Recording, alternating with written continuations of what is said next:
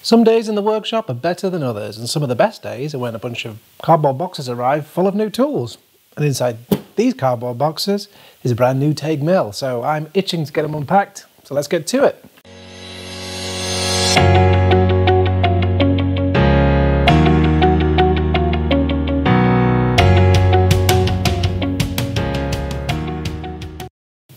So yes, I bought a Taig mill to make small robot parts, and there are many mills on the market, but this one is now mine. So I want to take 30 seconds just to explain why I chose this mill, and also I want to tell you the story of the CNC Dickens, so you can avoid them in the future.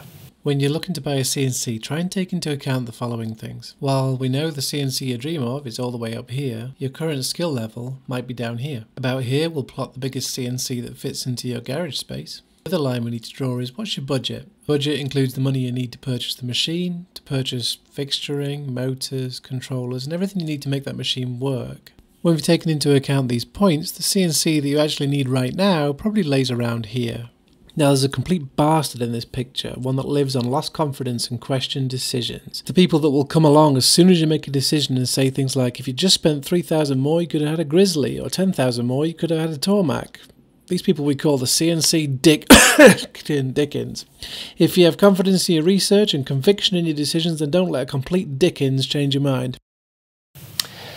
So now we know how not to be a Dickens. I ordered the Taig 5019 CR mill, which is the ball screw version of the Taig mill, and it also is CNC ready. So you can bolt some motors on there and get the computer to do all the hard work for us, and that is in these two large boxes here. I also have a box with some Saunders Machine Works fixture plates. I've got a box with a tool setting probe and a few other things besides. So let's start opening some boxes. So safety first, before we start handling some knives, I'm going to put some gloves on. Box one of two.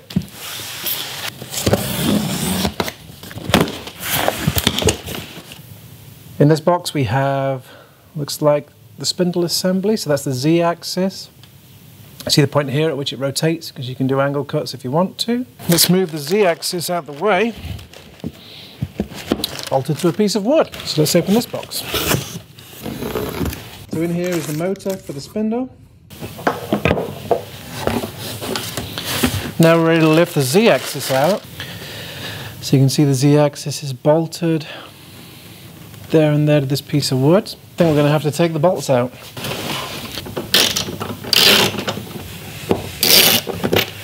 Interesting, so one last bolt right in the rotating plate there. Okay. Here's the z-axis here. See the switch to turn the spindle on. This is the rotating column. Here's the collet or at least the collet nut. There is the pulley for the spindle. End of the z-axis ball screw, so we'll clean that up in a minute. Alright, let's get to box two. Some Trader Joe's bags. Starting to see the table up here. Looks like a bag of stuff. Save that for later. This is bolted down somewhere, so we're going to have a look around for some bolts. Looks like we've got a belt and collets in here, so we'll open that in a moment. So we have a bolt down here, and it looks like a bolt down here. We have, so we have our XY axis here, ball screws looking beautiful. Here's our Z axis. You can see the rotating column piece here, bolts on over here. Those ball screws are absolutely beautiful. So next we have this little box here. What's inside it? Mill vise with crank handle. Some more newspaper. Where do you even get newspaper in this day and age? Being from England, this is what we used to get our fish and chips in. I live in America now, so I can't get a decent chip butty to save my life. That looks like the bench mill vice handle. So we've got some collets. I was actually wondering if it would come with collets website isn't particularly easy to see everything that comes with it. And that's one of the reasons I wanted to shoot this video for you because I wanted you to see what this machine came with. I actually think for the money it's a heck of a deal for most people to get started. Obviously nothing metric. And we'll hold my tongue on metric for the moment. So this is the belt, subject of much debate with people that actually have Taigs, work with Taigs, Taigs. It's very thin. But people make very good parts on these Taigs, so got to believe it's well engineered. The spindle upgrade is one of the first things people do. That is the very basic vise that you get. So that fits up here, helps us hold our parts. Now we have this bag to open. So what's in here? So inside of here, it looks like we have our CNC ready mounts. So there we go. This is what we'll eventually mount our NEMA 23 motors to. These, actually the way, these go over here, pretty tight tolerance. be very careful because actually inside of here is our shaft coupler. Mounts to the end of our axis and the other end clamps onto our motor.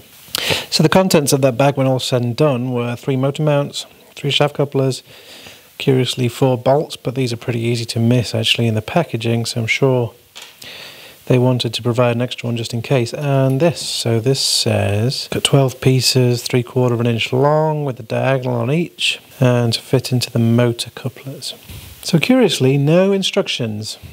Admittedly, they could be somewhere inside that mountain of paper. And actually, you can already see ball screws are very easy to turn. All right, let's get a closer look.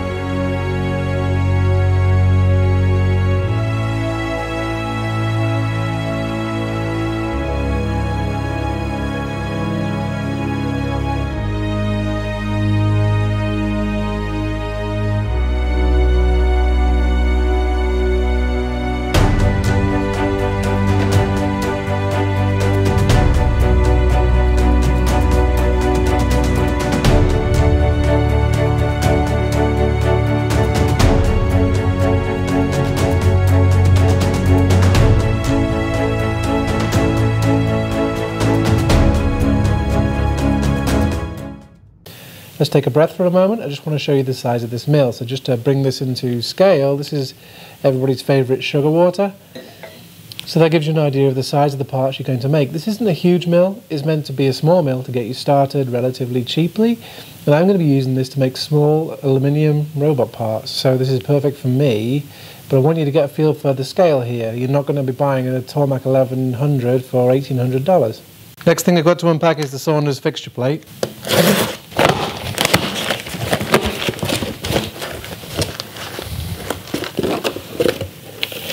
So in here we have the Saunders Machine Works two-piece vise.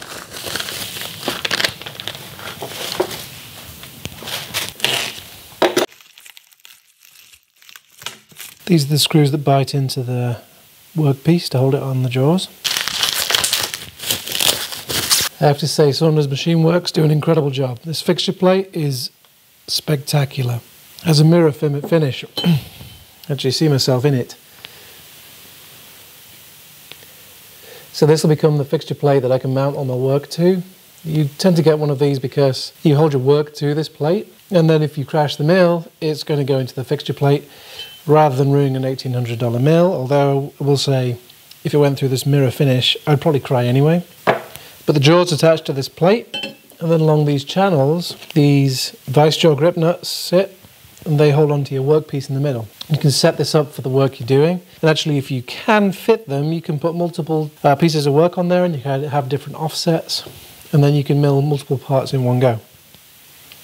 So what it enables you to do is actually have two or three fixture plates as well. And then you can have work holding ready to go for the parts that you're going to make. So if I'm making robot parts, then I can set them up on different fixture plates. These are $100 a piece. So I can set everything up ready to go. I can pull the fixture plate out, attach it to the machine, home the machine and get going. And I can mill them out without having to go through too much trouble of clamping down the work and moving things around to get going. I mentioned in my video earlier on that there is more than just the machine if you want to invest in a CNC mill. I also purchased a touch setter probe so I can do quick and easy tool changes. So this will be attached to the machine or the fixture plate.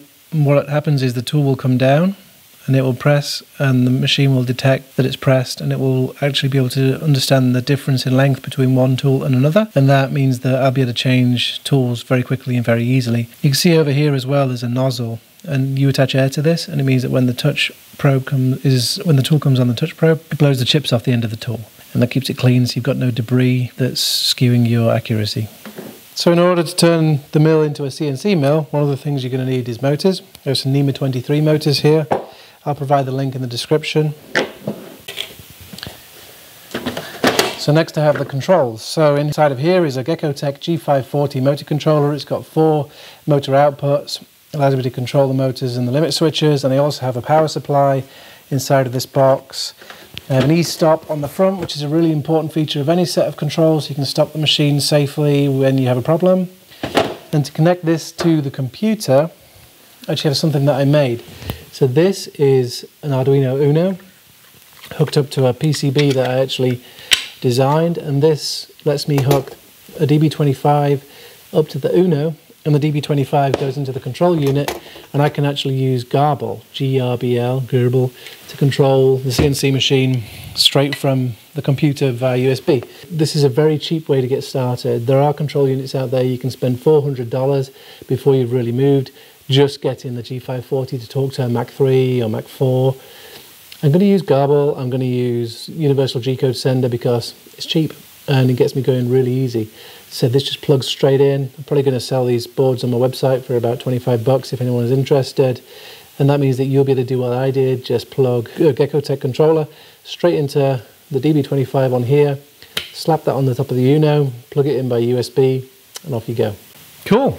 Well, that sets up the next video nicely. We have a table full of stuff and we're going to turn it into a working mill. It's my hope that this video perhaps helped you as you start going down your milling journey. I think the Taig mill makes a really good place to start. It's a small mill, you can reach out and touch everything that's going on. It's not surrounded by a giant cabinet, you're not insulated from what's happening. It's a good place to start to learn. It's also very cheap. There's no giant price tag to stop you from getting involved. That's really important. So don't let any CNC Dickens talk you out of it this is a good place to start. I hope you join me next time. We'll get this thing put together and we'll start making chips. If you don't want to miss us putting all this together, then hit the subscribe button.